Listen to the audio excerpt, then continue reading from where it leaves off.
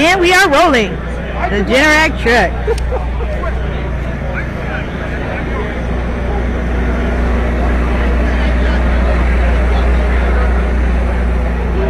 Power Experience Tour.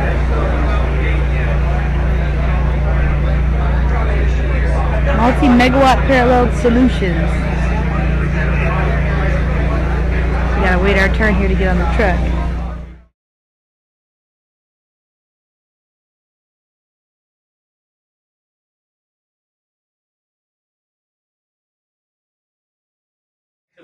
Loads, n plus two, n plus two to the critical, n plus one to their whole store. All right, so this, this gas thing is really cool. Um, yeah, I didn't get that? There it is. I want to get to. So there's seat just down there if you want to sit.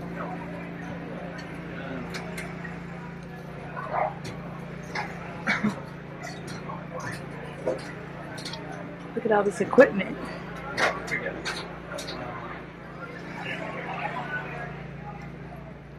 Well, Uh, I don't know. Dan. Sorry, I, was, I want to show this. There's a job in Washington D.C. All right, it's called the Museum of the Bible. Dan, if you can find it, it's it is the, the screen there. So, um, the Museum of the Bible actually it's a private in a private museum built by the guy that owns Hobby Lobby, and uh, and they could not fit all the diesel fuel uh, in their site. It was in the middle of D.C. Right, no place for diesel fuel. So they said, let's go natural gas right? But we need 3,200 kW natural gas. They put four 400s on, above each other. So eight total generators, that's four and four, right? Inserted uh, in the top of the building, and the, the system has been open since uh, November now and working flawlessly. It took us about a day and a half to start it up, because when we build these generators in Wisconsin, we're already paralleling. We parallel them together first, right, in our, in our facility, with the controller, right? So the system that gets put on the truck is the system that's going to be installed. Theoretically, if the contractor hooks it up, it should work out of the box. And that's what happens in Museum Level. Eight 400s, four of them starting in seven seconds, all eight and 12. And putting the load together. So, all right, then it's, it's right. Sorry. We have. Well, that's all right. Um, any questions? So is that standby power for them? Yep. Yeah. Um, you can, you know, something else that's growing, uh, the, the expression demand response, DR, they call it. Uh, it's an, the idea that if you have a generator set and you're asked to run it uh, because you might get a, get a check, in other words, you get uh, economic benefit for running your generator set. Why? Because if you can take a bunch of generator sets, run them, and take that amount of kW off the grid, you will you know, potentially have a, a save grid problem. And so there's an, there's an industry now that is aggregating people's generator sets, right, into these gigantic amounts of kW, all right? And when they're called, they bring all these generator sets up online together, and they take 20 meg of power off the national grid. Again, ISO, the local ISO here in Pennsylvania says, it's a hot day, I've just lost one of my nuclear power plants, I need to start all these generator sets, right? that has always been kind of popular with diesels, but became uneconomical in the last couple years because diesels, to get clean enough to be legal in that application, had to be the, the most highest tier, the most clean level, tier four they call it, right? Economics is very expensive and physically large and complex. Natural gas, however, is already clean enough. All you have to do is send to the EPA, here's our emissions for natural gas, emergency, non-emergency, same thing. They said, okay, now you are certified for non-emergency application. So if a DR person wants to say, okay, I want to get a natural gas engine anyway, all right, and I'm in an area where I'm going to get a check for two thousand, five, ten thousand dollars just for being available, not even using just for being available. They're starting to look at that, right? And we're starting to see that grow as the knowledge becomes available. Uh, again, diesel, they could use a diesel, but the numbers are so high but our gas all of a sudden looks very affordable, and it's already certified. So, um, gas for a variety of reasons, and that's just one of them, is becoming popular. The other reason the gas is driving diesel fuel. Getting diesel fuel when Hurricane Sandy was terrible.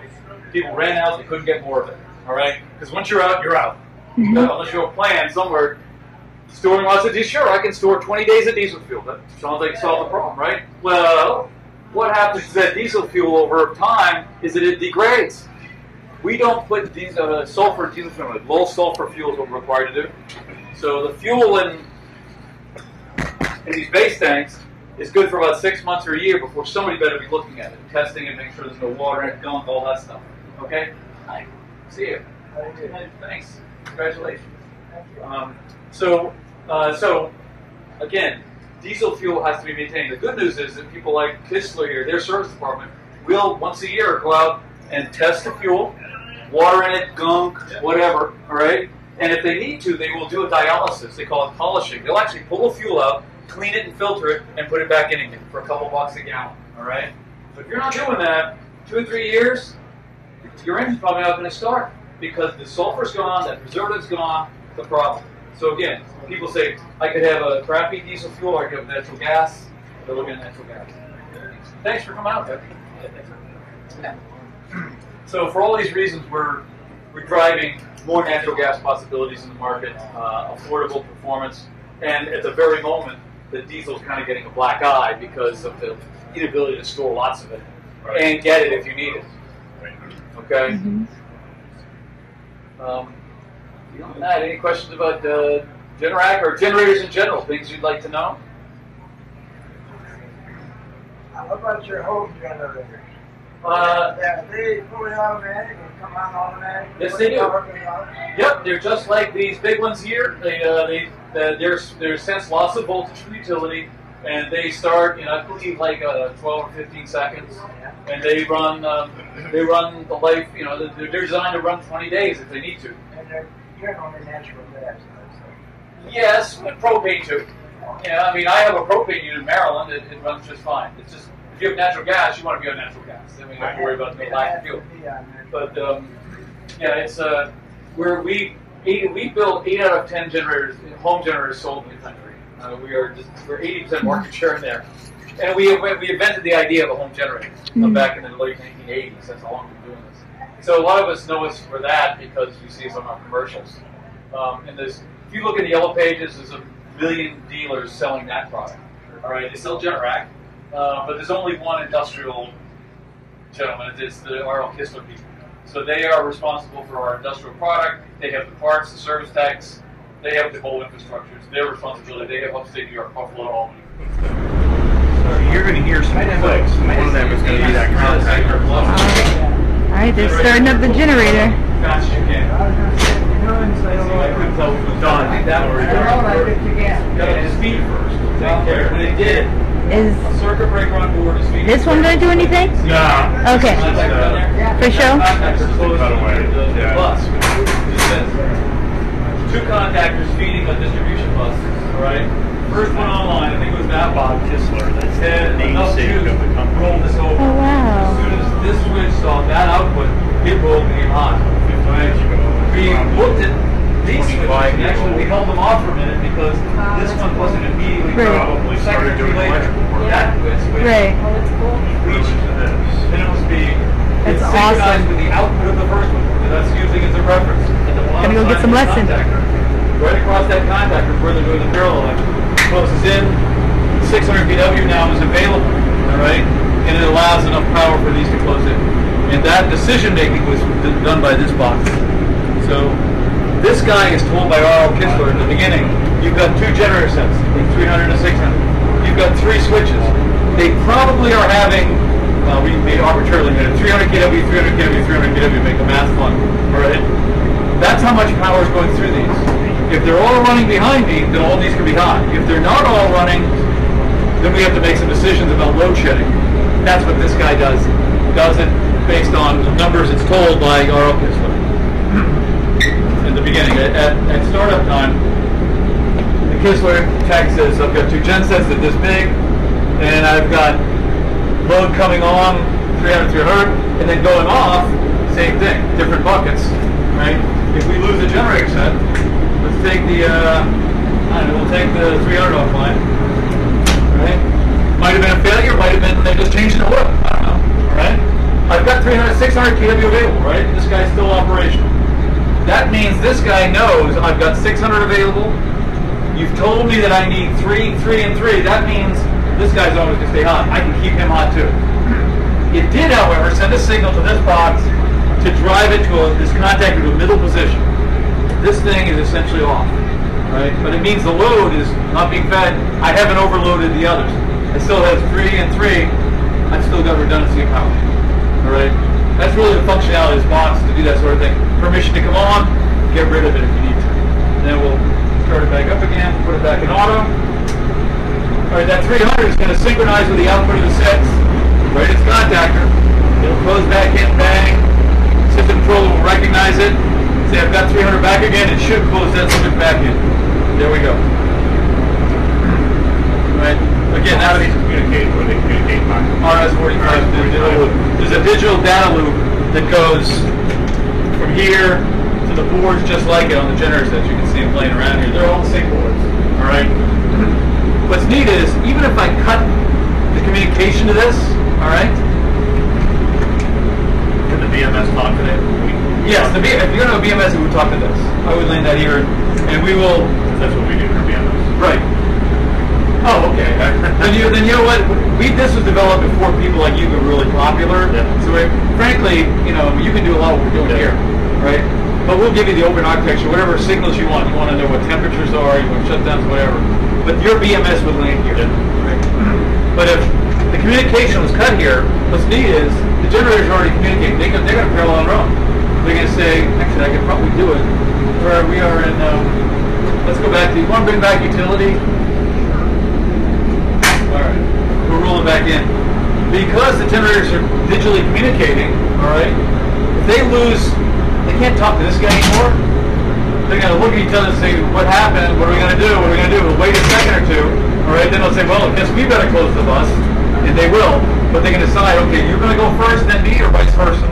Because one has to go, then the other one uses it. All right, so now we can do that. Mike, I'm going to, I'm going to turn this off. All right, now we, oh, let's clean this so we can see it. We're going to get a loss of communication signal. All right. All right, now utility, if you take utility out, You're gonna kill utility. even though those generators haven't, are not talking to this, we've lost comms. Now they're arguing. It's like, what are we going to do? What are we going to do? We better start. Okay, you start, you close, you close, and I'll close. So what's the order? What gets Uh, that's it, you know, is it, I think at the, at the beginning, you, we actually, the, the tech doesn't arbitrarily say, if this happens, this is number one. Yeah, yeah, so Gen 1 and Gen 2 are defined in software, and now there's a dead bus arbitration line between Gen 1 and Gen 2. So, even in a comms failure mode, I have one of those two gens must start. So, even still, one of those could be in a failure state. I can still make the bus hot, and then my subsequent units can still synchronize and close in. So again, you've got, you've got layers of redundancy both in the, the physical generation platform and the control platform as well, and in the hardware, obviously, itself. So the, that's the level number one of redundancy. The is we've had a terrible catastrophic failure. This line is cut, a backhoe was cut blinds to the generator set, two wire starts are down, everything. Total manual start. We bring it back. Are we back on utility 100%? Nope, not You're back on, not yet. Okay, there we go. All right, so now it's a roll back down. All right, human beings are going to walk up to the generator set. You could, sir. All right, you're the facilities manager. Here, wait a second, let's make it really good. Oh yeah, put that on. Yeah. Off, off, Right, everything's everything is dead. here. This is dead. Right? I'm gonna make all of it. Oh, we had to put it off. PLS is doing it now.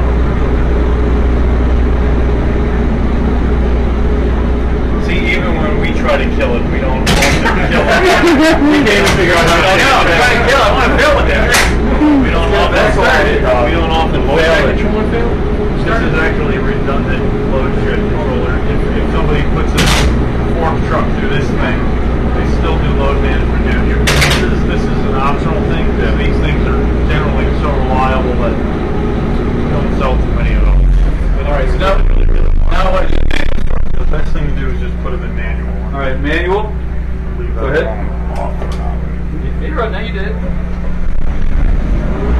want you to press a button here. It's a button that says request manual apparel.